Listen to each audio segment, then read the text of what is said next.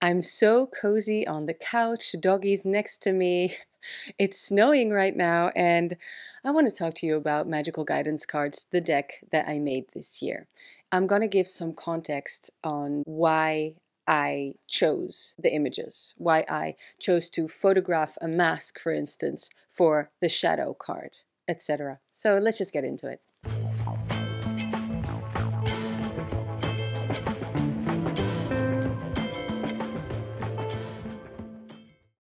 So as you can see right now at moment of filming, I'm halfway through finally um, edging my deck. Anyway, let's actually start with the card where I photographed a mask that is hanging right there between two windows in my home. And the words are shadow, ego, and mask because mask itself obviously has has plenty of meaning and symbolism. Now, I completely forgot where this mask came from. It's it's very known this style. So if you just know it off the top of your head, feel free to comment. I bought this I don't know, many years ago off of a website actually. And I fell in love with it because of the coloration, of course, but mostly it looks just freaking badass, obviously, right? Um, is it Indonesia? I'm not sure. Anyway, we have this darker figure kind of coming out of this lighter face. So it looks like three different phases. And you know, I actually don't know the meaning of the mask, but I know that cultural masks like these, usually they are spiritual or maybe even considered magical and that sometimes they even depict gods or goddesses. So, looking at the beauty that is this mask and the badassness that it looks like, you know, it it brings forth for me the question of shadow and maybe even ego. Even though I obviously don't want to villainize this, but you know, you can't deny that it it, it looks super fierce. And you know, the reason that I love masks, I have three right there, and I have another one. And I grew up in a house where there were big, big original African masks on the wall. They used to belong to my French grandparents. My grandfather used to be a head of la gendarmerie, so he was a colonel. And due to his work, him and his whole family had to go to wherever basically they were told, right? Back in the day. So they actually lived in Africa for a while. They lived in, let me see, in Algeria, but then also they lived in, for instance, Berlin, but they also lived in Burundi. So that's where they got some malachite and definitely the beautiful original masks. Obviously, as an adult in my own home, I developed my own taste, but the mask thing that stuck because it's it's beautiful and it's I love the decoration on the walls and you don't have to be spiritual or know anything about it necessarily to appreciate them. You just kind of you look at them and you feel what they're about. So this could potentially be, I don't want to say God, but maybe entity that does show a different side of you. Either way, that's the whole concept or whole idea of wearing a mask, right? Making a mask, wearing a mask, putting on the mask, becoming this entity. The next card, uh, fractal, key, gateway, portal open, sacred geometry, and grid. Yeah, basically every term to not call it mandala or mandala. I don't know how to say it now, but mandala sounds American. but um, I, I don't know why I don't like that word. I'm not quite sure. But whatever I do when I do this, and I posted a picture on Instagram a little while ago where I actually charged this card with its own fractal or crystal grid. And Hagstone grid, actually. When I do this, it's to protect something or to open a door.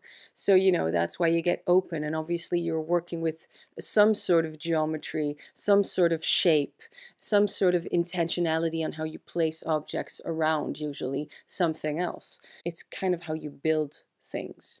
And all of these little items are things that I have either either found or collected in another way, bought throughout the years. And um, my partner looked at these cards and, you know, he said, Great job. But one of his kind of not criticism, but rather questions was, Well, you really need a lot of stuff to use this deck. For instance, we have wand, cauldron, you know what I mean? What if you don't have a wand? Obviously feel free to hello use your witch finger. We all have one right here. Sorry to be so cheesy but yeah. Um, and then what about a cauldron? You could even just do this. This can be your cauldron right? But you can take it even further and everybody has heard about this. Just visualize it. This can be your astral altar magickal guidance cards, right? It it is meant for me to use the items, magical items that I have and make whatever isn't magical in my idea actually that to use it and to infuse it and to really you know it's a hands-on call to action pack of cards for me use it in any way that you want i uh, said in the flip through uh, video feel free to take out cards if you don't like them or you don't see the purpose or you don't use, for instance, a wand or anything of the sorts. So, you know, take it out. It's it's really no rules. It's 90 cards, but it can be 50 cards. It doesn't matter at all. Feel free to make different little oracle decks. Read it as an oracle deck. Interpret the cards however you like. You know, I mean, there's there's quite a lot to go off of, honestly. Again, if you are in the middle of nowhere, all you have is these cards, or if you have nothing at the moment, or you work with nothing physical, nothing material uh, in your craft, you can still use this deck. It doesn't require you to buy or get anything, it just suggests. And then, of course, you can use your astral cauldron. You can use your astral altar you can make an astral altar if that's maybe a new concept to you, right? I already explained a little bit about this card in the flip through, but uh, something extra. Maybe some Finnish folk or even Dutch folk will recognize these tiny bottles. They are actually Salmari bottles. And yes, I took out the label and stuff so you won't see. But of course, how could I not? In the darkest deck that was ever made, honestly how could I not use the blackest drink that you can find? So this tastes like salty licorice and it's alcoholic. It's a shot. And I don't know what's going on, guys. I mean, I'm in my freaking mid 30s, but with my friend group, we are kind of obsessing over this drink. And I even dressed up as a Salmari for Halloween this year because it's kind of a non costume and still it was funny. So. This is the actual color of the tree that I photographed at night in wintertime. I remember doing it. I remember getting out of the bus earlier than my stop because I had seen the trees with the beautiful purple light. And I decided next time I would pass that spot, I would bring my camera, get out the bus there, and take a photo. So that one wasn't edited so much. And this, of course, it's still a tree, but you can consider it to be a tree, you know, upside down like roots. So an astral tree, and this signifies the realm of the low, dark, below, descend. And then I have its little sister, the above card. As you can see, this is actually the photo that is edited. So I changed the colors. Rise, high, and then light. So we have dark and light. This would be a good visual for meditation, right? Here, this is heal and fix. I have some what I consider healing crystals. And right there in the middle with the rose petals is actually a lock of my hair. The protection, very easy spell that I did, and it's a home protection spell. And actually, I shared this on Patreon. I don't remember which tier, but I had to redo it. I felt the need to get some extra protection. So this was actually pre having redone it. You can kind of tell by how loose these little knots are in the corner because when I redid it, I added some candle wax to keep it in place and really seal it in there.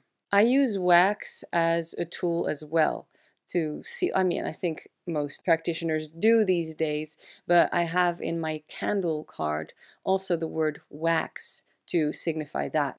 You don't have to necessarily only light the candle. It suggests to actually use the wax of the candle to maybe seal something. This I believe you've seen. This is my tarot card. Obviously, I wanted to use a tarot deck that no longer had copyright. You never know, right? And um, this is kind of beautiful as well. It's the first Dutch Rider Waite Smith. It's black and white, and the backs have this beautiful ink. All the cards are discolored.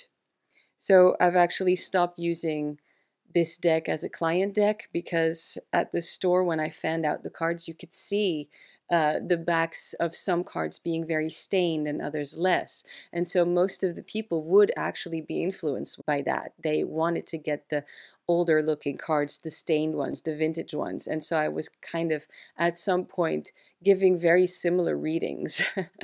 um, so, you know, that's why I went, that one of the reasons also, a really tarot behind the scenes kind of thing that I went back to Centennial. This is my servitor card guardian, and companion. Now, these obviously are plastic Halloween costume witch fingers. My first servitor card was before I had this concept of I have to take every photo myself. Also, as a rule, every photo needs to be taken out of the daylight. So, evening time, nighttime, even. This was at nighttime. Uh, my first servitor card was actually a photo that I had found online, you know, one of those royalty free ones. But I had trouble making the deck consistent and personal, honestly. I had to make my own. The first photo that I found was actually this weird hallway. It was a computer thing, I think, with all these squares and so it looks like either you're coming out or you're going in, which made sense because it's a system in a system in a system. You're kind of basically making your own system to get something done, to go through that portal. But actually, when you think about it, a servitor is an extension of yourself. So when you look at these witch fingers, obviously they make my hand look much longer, but you can still see the clear difference between the human hand and then the extra stuff that's been added, but that you wear. It's my right hand also, so it's like directed. I, I'm really very much about that, but also I am right handed, so it makes sense to me. So, yeah, I hope that was fun to know. Okay, this is the compass card, compass, map direction. Sometimes you just want to map out, literally, physically, map out where you are, what's going on. I have a whole video, an old one, of how to make a map of your tarot reading, etc. And then direction, it's also, of course, the north, south, east, and west, or whatever. And compass can also signify that you find something or something finds you. Now, you see, we have the little red arrow here pointing that way, and maybe you guys haven't noticed yet, but this little ball is actually a magnet. And in this round dish, you know, this of course shows, if in case you don't know, I don't know, uh, when you put a magnet, the, the arrow naturally goes towards it. It's being pulled towards the magnet. So this signifies that I, as the practitioner here, has the power to attract. To change direction a beautiful view of an Amsterdam canal. These are carvings that I've made. Um, this right here with the snake is actually a carving of a of a vision or a dream rather I think I don't know it's hard to remember am I the only one who does this who draws sigils on the soles of shoes and boots It's a really old trick, but it's nice because you're walking and charging with every step, but you're walking on whatever you are putting out there. Did that make sense? Okay, here I made a difference between jar and pouch. Might be the same for some people, but here this is fabric stitching pouch. Then I have another card that says jar and bottle. So for me, it's different. I feel like jar and bottle, you're really trying to contain something. It's an actual container, and a pouch isn't, in my mind. A pouch is softer, it breathes. Scrying, pendulum, crystal ball, and black mirror. This is, I had been looking for that for years. One of those round mirrors, of course, round this way, but also round in its, it's considered a witch mirror to some folk. So, that's why it's in this picture. Here we go, the candle card with also wax as one of the things that you can use this for. Now this is of course one of those super dark cards, but um, maybe you can see just right here, this really was the candle. It's finished now, it's been a while, it's been a few months. Um, was on my altar to represent me because it was standing on this little mirror. So there you go, reflects it's me. And then the thing that I pointed out just now is again a lock of my hair. I like to, to work with hair. This thing right here, play, enjoyment, game of chance. This is a ride of a fair. It says magic, magic. Now, I edited the hell out of this. Honestly, just uh, where the where the words are because I don't know if you guys know this. Maybe the Dutchies will recognize it. This ride is actually called Magic Mouse. Isn't that cute? But I wasn't gonna have Magic Mouse in the deck, so I edited it, and it says Magic Magic now, which is pretty fucking cool to me.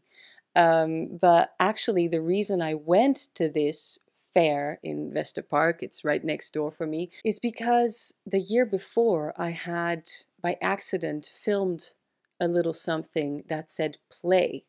Now, since the whole lockdown stuff and people making less money, including the fairs, obviously, they changed some stuff and had to cancel, take away some of the rides. So the one that said play in neon flashy letters was gone. But then I saw obviously I brought my camera, I saw a sign that said magic. And I thought, wow, well that's that might be even better because I'm going to have the word play on the back of the card, right? As one of the the things that you can do. Enjoyment and game of chance. Okay, here we have another lock of my hair, but it's knotted Let's not talk about that anymore. I have my malachite eggs that obviously I got from my grandparents in an actual bird's nest that I found in the woods.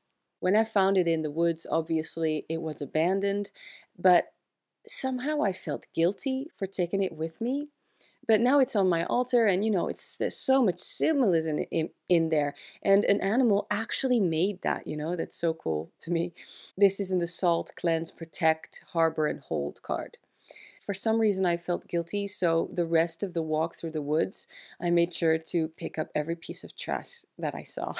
so I did something back for the woods somehow. I felt like I took something, so I had to give something back.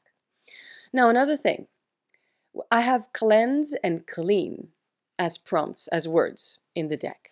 Let's face it, as witches, we cleanse and clean a lot, okay? So this one makes the most sense to have cleanse. And then the other one, I don't remember off the top of my head, but I also have clean, which then also makes sense, right? Because cleanse, you can go all smoke cleanse, but you look at your working space and it's unkept, so clean can be a really good magical act as well. Sweep it away.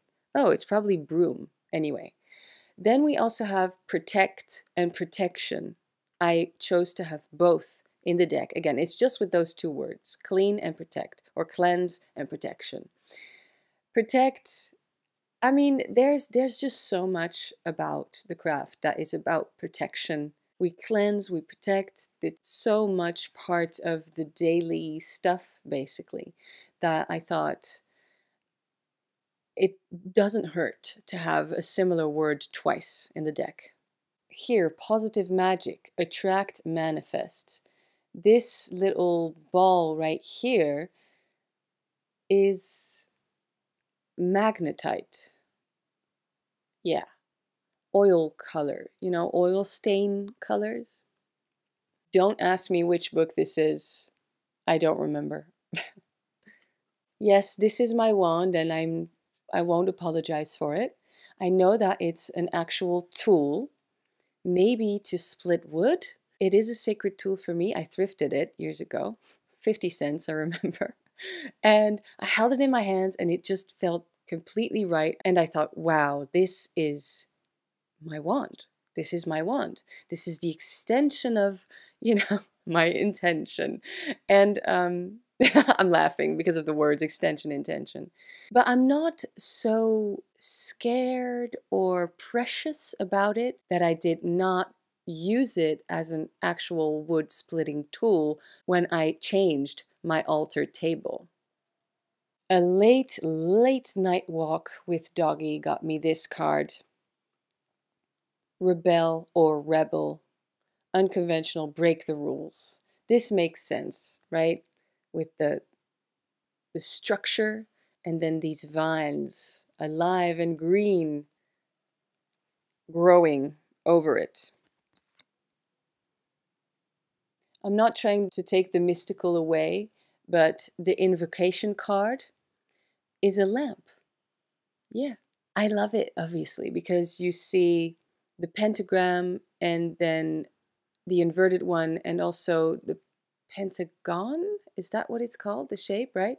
Also, knowing that it's supposed to be a light, I think that kind of works. Obviously, here in the chaos, nothing, void, stillness card, I am trying to represent on my altar the cosmic egg with the black obsidian yoni egg that I don't use as a yoni egg, but just as this symbolism and you know, holding black obsidian can be quite nice. Then with the snake candle holder, that just totally makes sense to me. These words of the spirit board, which again, you don't have to work with a spirit board. You don't have to have a spirit board or a Ouija board, right? To work with magickal guidance cards. But the words say spirit board, ancestor, example, legacy, you. Now that might confuse some folks, but the thought behind this is a lot of us do work with ancestors, right? Or your own personal history. So then there's also travel, astral travel, time travel, etc., kind of involved here.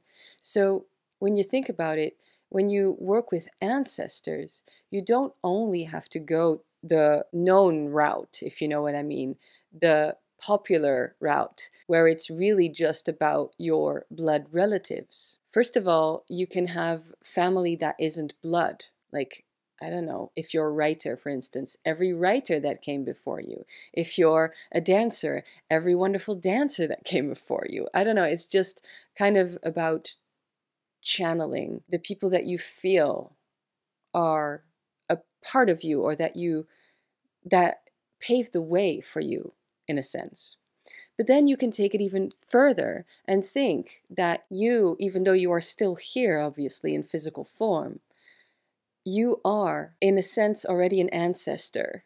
Does that make sense? Because it, time is non-linear. Time does its own thing. And so why would you not see your own timeline, wherever you are in your head, your own past or present or future, you could be your own example. You could be your own ancestor. I feel like it's about the legacy that you are leaving behind. Does that mean that all I'm trying to say is live your best life? You know what I mean. Live your life according to your own values. Do the best that you can right now. And so you're actually living the life that you are preaching about. Your original, most authentic self is what you're expressing. I feel like I'm, as always, kind of, not, not as always, but I often do that. I kind of circle around something that I'm trying to pinpoint, and when the camera's rolling, mm, I have trouble doing so. But if you know what I'm talking about, please again do me a favor, fill in the blanks. But I did put in ancestor, because yes, ancestor work, we love that. But then there's also example. Who is your example? But then you can be an example, not just to others, but also to yourself in a weird way. Does that make sense? And then legacy. And then finally, the word is you. Because doing ancestor work, after all, we are still working with ourselves.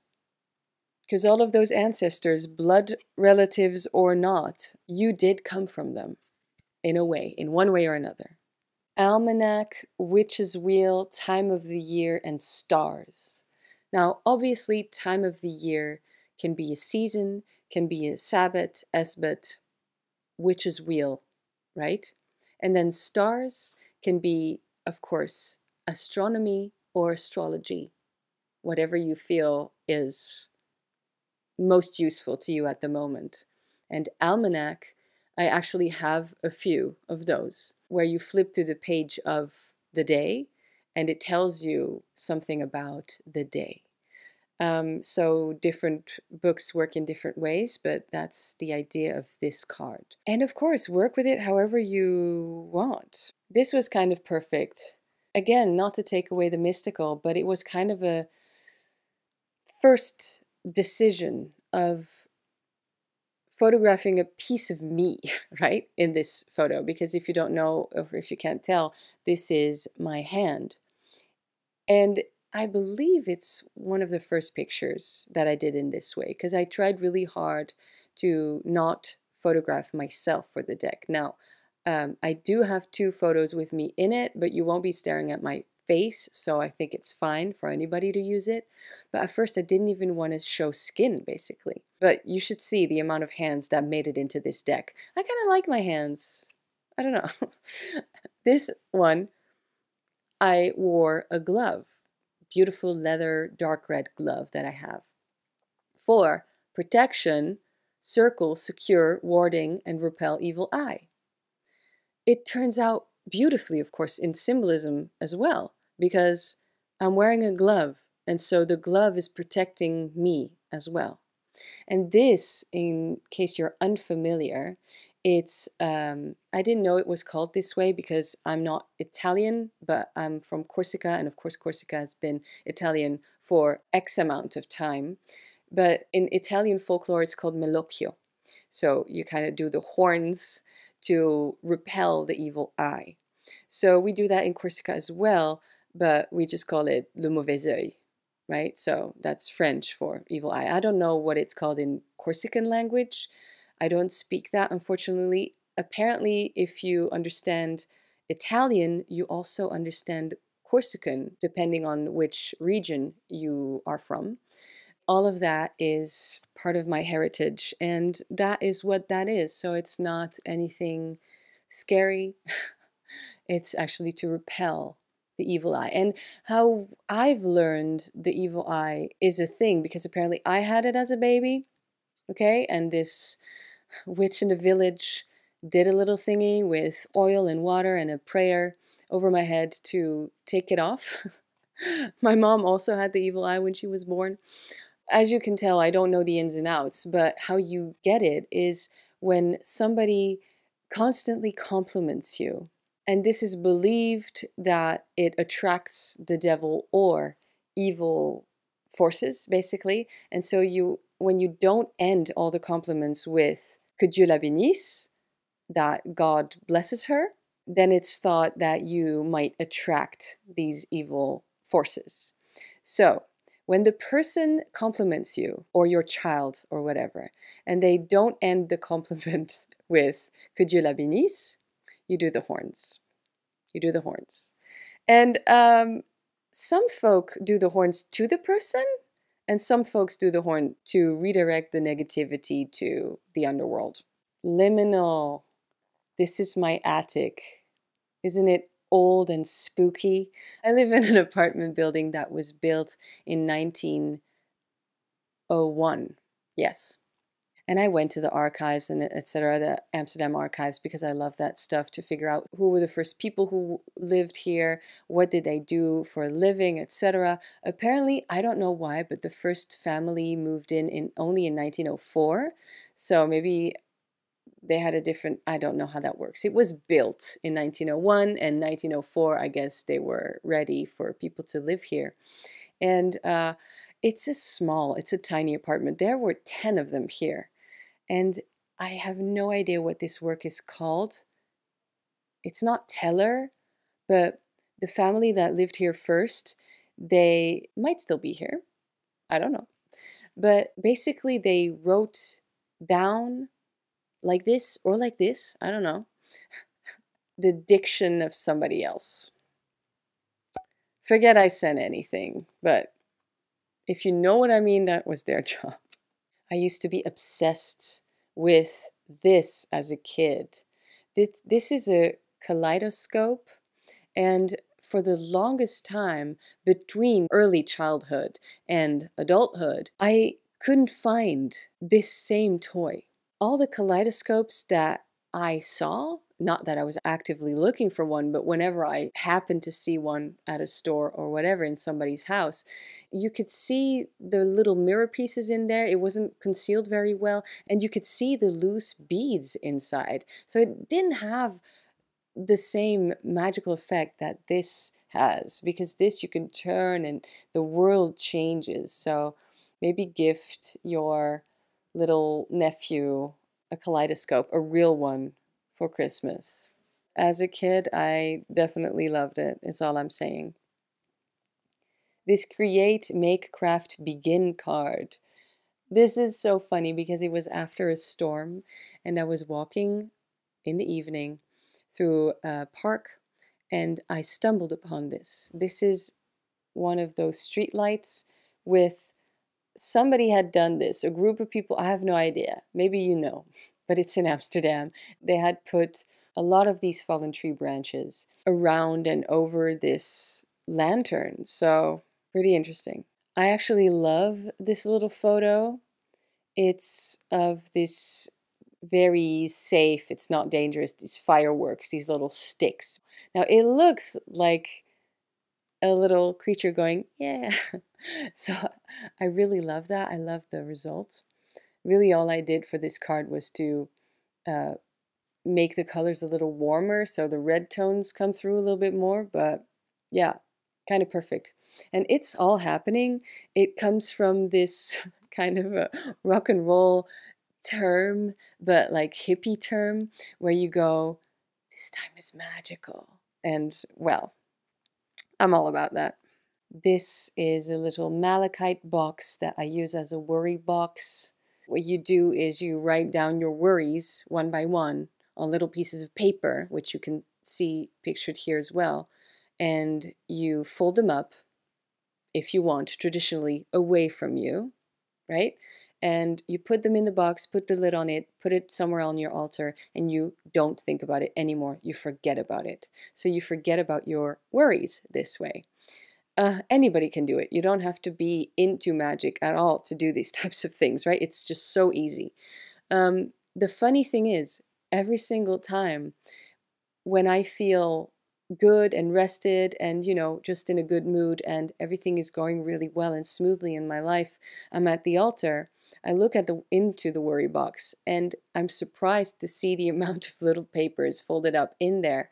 But then even without knowing what they are, it's kind of like sigil work where you're supposed to forget the meaning of it. You burn them one by one in your cauldron and you say goodbye to those worries once and for all. That's basically how it works. That's not how life works, but that's how this spell works. So I believe it does have definitely some positive influence on how we see daily life, how we perceive things. And uh, this is a malachite box, obviously. How fancy am I? This is a vintage one, uh, or antique actually, that my grandparents gave me. I was talking about that earlier. And then here, this is one of the last cards that I made. This is a geode that I have in my home, and this is actually um, I forgot the name of the flower. I'm not a very flower person, but often these types of flowers, they only bloom once and then the plant kind of dies. Now, I'm, I'm not much of a flower person, not much of a plant person either. I wish I was. I don't have the green thumb, okay? But it happened by itself that this flower that a student gave me, love that, bloomed again two years after it had bloomed, bloomed for the first time when she gifted me the flower. I hadn't done anything special to it. I just kept watering it. And then all of a sudden, they they started blooming again. So that made perfect sense for this prompt, which is recharge, energize yourself, and refresh a spell. Because don't we need that inspiration in a magical practice deck to not only do new things, to do new spell, to make new intentions, but sometimes you need a little reminder of, hey, you know that thing that you did a month ago? It needs refreshing. So get right on that, refresh that spell. Just do it again, right? And then coming from the perspective that you have now a month later. That was hopefully my not too long or too rambly explanation of some of the cards. I hope that I answered some questions that you had. And I want to thank you all. Thank you so much. Everything, if you're interested in the deck or my Patreon, whatever, is linked below. Definitely, it helps me out so much that you support my work in any way, shape, or form. If you're not in a position or, you know, whatever, to uh, support financially, so by buying a deck or becoming a patron, then you can also like, comment, and share these videos of mine that I put a lot of work into. So, you know, that's just a way of showing your appreciation. I know that I appreciate you for sure. So, have a wonderful weekend, and I will see you next week. Bye.